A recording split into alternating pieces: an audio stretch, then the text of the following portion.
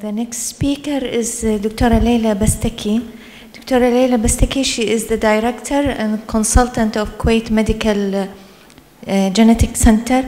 She had lots of contributions, and uh, the most important is the re-establishment of the neonatal screening program in Kuwait, uh, estab- establishment and in charge of the metabolic genetic units in Kuwait, uh, Genetic Medical Center, providing all circumstances that guarantee its continuity, success, and progress, establishment of neuromuscular genetic registry in Kuwait. Actually, she has too many contributions. So you can uh, go through them. Uh, thank you very much, uh, Dr. Laila, for uh, the present. She is going to talk to us about the newborn screening program in Kuwait. Uh, Bismillah ar-Rahman ar-Rahim. I'd like to thank Dr. Fahad and the organizing committee to give me this opportunity to speak about the newborn screening program in Kuwait, which is uh, expanded immensely in the last year. So, uh, when we start the newborn screening, our vision was all babies have equal right to live healthy. We need to create the platform for them. The mission was to prevent or reduce morbidity and mortality in newborn inside Kuwait. Uh, as we know that inborn error of metabolism is uh, range from mm, varies from 1 to 2500 to 1 in 200,000 and in Kuwait we expected that it will become much higher this is because of our personal experience. We have a large family size. There is a high rate of consanguineous marriage so there is a high rate of autosomal recessive disorders and it's somehow a genetic isolate.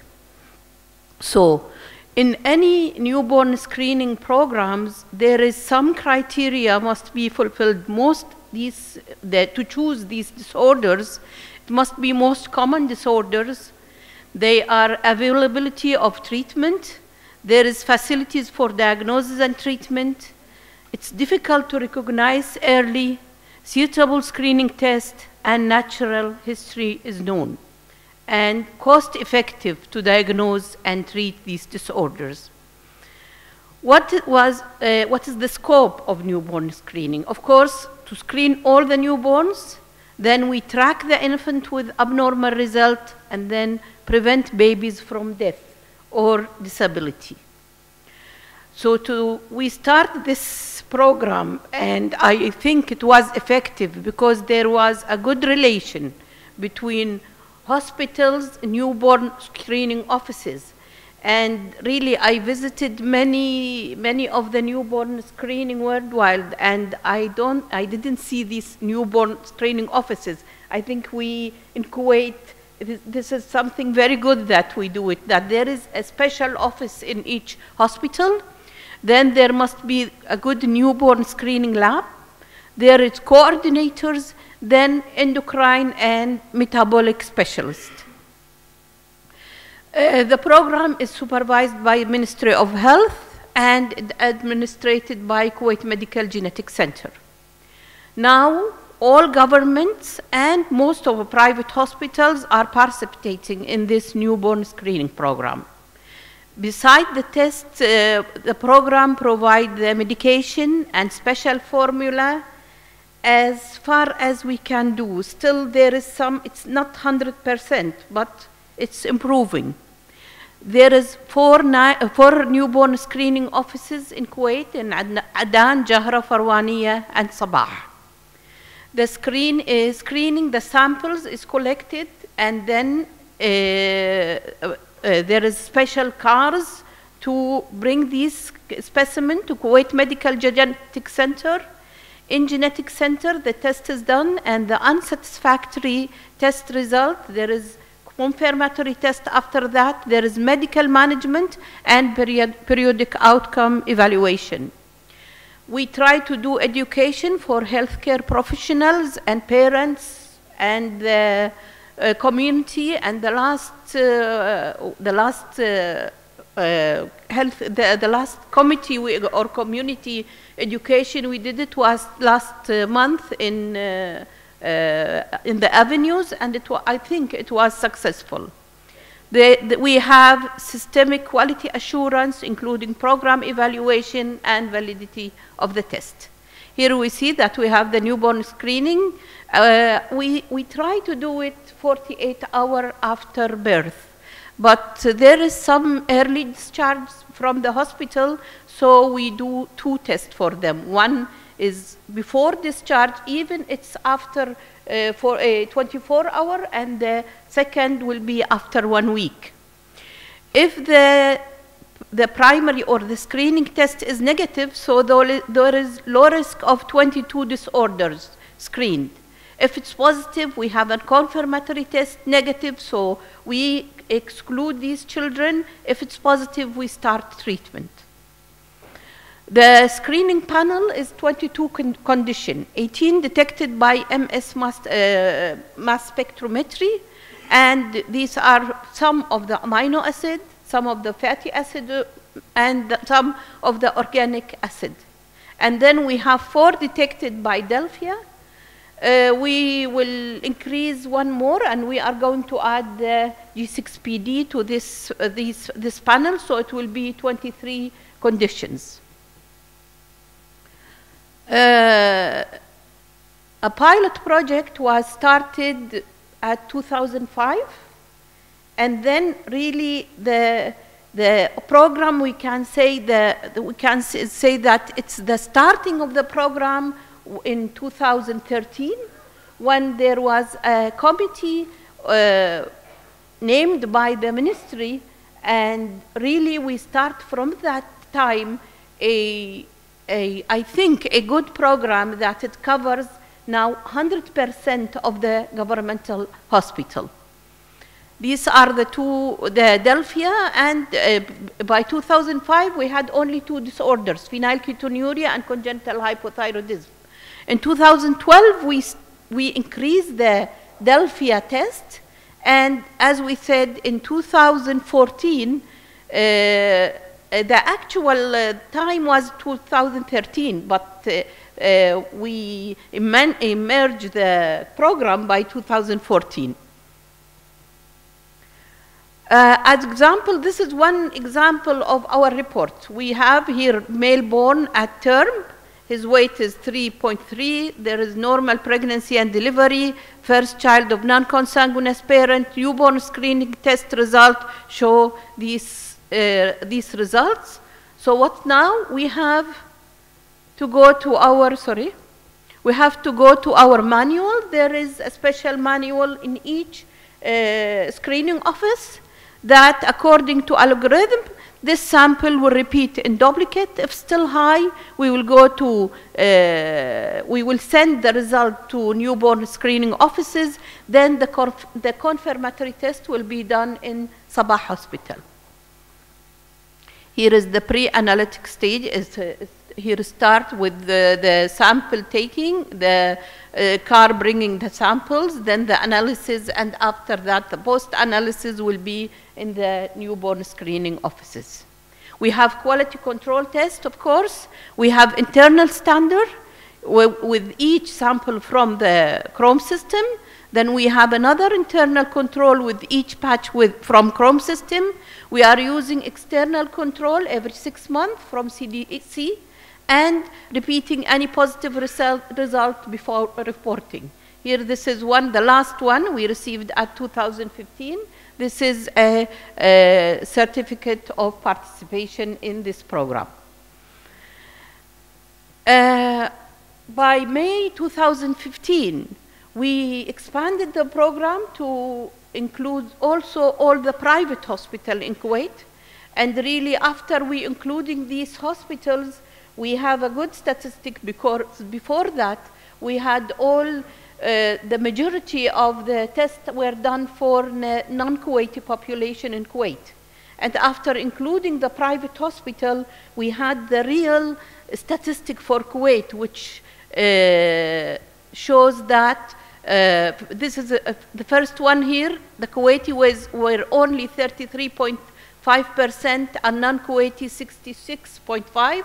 After May, when we include all the private hospitals, we have 49.2 Kuwaiti and 50.8 non-Kuwaiti. So this is the actual uh, population of Kuwait. Uh, total number of samples screened in 2015 is 52,789. This is the number of filter paper we received. Of course, we received for the premature children uh, more than one filter paper. And sometime we receive a duplicate of filter paper for some some uh, some children also. So if we said that last year the number of uh, children were about uh, 40, 42,000 uh, live-born, so we did almost most of them. Here is, uh, if we see here, the total number of filter papers, if you see that by uh, by 2015, we received the highest number because of the private hospital were included. Here each month, and here we say that by, we see by May, increase in the number of filter of paper because of the same reason. Uh, here, according to the hospital, this is not, a, but here, the positive samples in relation to the so total uh, sample received. As we said, this is a screening.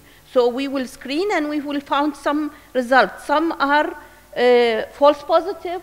So, uh, but because of screen, we will have a lot of false positive.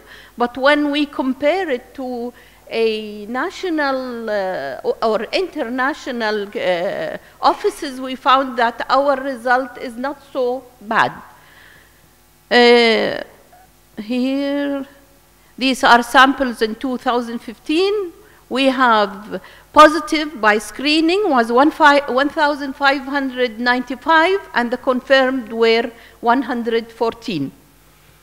So if we see here this, these here the disorders, we'll see here for, for example, congenital hypothyroidism, we will find that there is 297, uh, so 80, 80, 88%. It's very high and we found only 31 confirmed. And this is because of the early uh, collection of the uh, specimens, so we'll give a high po false positive. We'll found also that there is some that I want to show you here with tyrosinemia, and we are discussing that because we are not we are using the non-derivative system.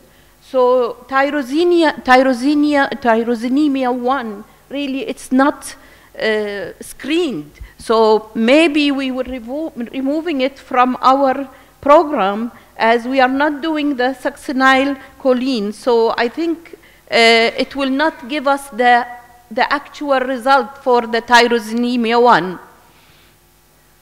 Here there is some common errors in sample shipping to the, to the center from um, some hospitals and of course the, the, the, the job of the newborn screening office by improving the quality of this card we received. Because it's very important to receive a good quality of screening card rather than to repeat the card for these babies and this will um, uh, lose, uh, lose sometime we, we, may lose a baby by not presenting a good quality of the filter paper. Dr. Laila, five minutes. Yeah, this is here only, I will show you the false positive rate. It's 2.8. The positive predictive value, if you see it here, 7.1, and the detection rate, or the false positive, 13 false positive to 1 true positive. This is very important. So we have it 13. If I show you some of the statistic from, for example, this is from Nebraska in 2010.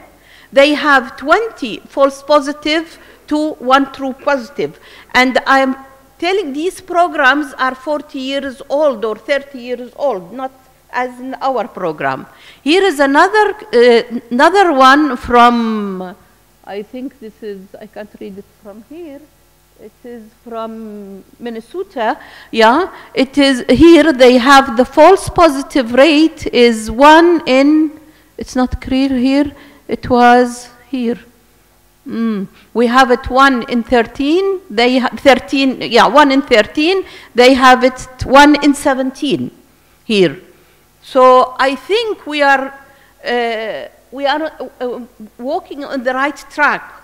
Of course, it's not 100% uh, work for the screening, but we, if we say that we started from two years, so I think what we are doing is a, a promising job, as I, I can say. I really, I don't want to forget my colleagues especially, first of all, Dr. Khalid Al-Sahlawi, the Ministry of Health Under Secretary for his support, Dr. Muna Al-Khawari, she's the Director of Pediatric Council, and the members of the Newborn Screening Committee that without their help and their efforts, we couldn't reach this. Uh, and thank you very much for all of you. And sorry, I know it's late.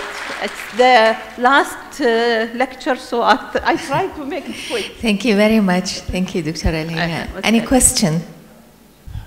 Thank you. Uh, I think you need to be congratulated. That's a fantastic piece of work, and I think I think very impressive.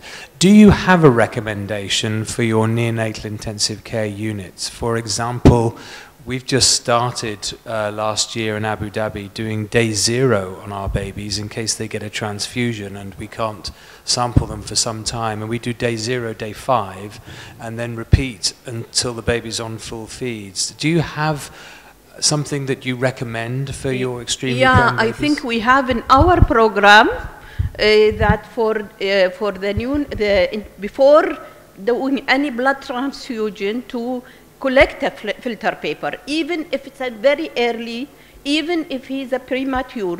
For premature babies, we follow the international guideline which uh, say to take three filter papers. First of all, the one that at birth, and after that, after two weeks, and then after two weeks. So we have three filter papers for any newborn baby in the intensive care.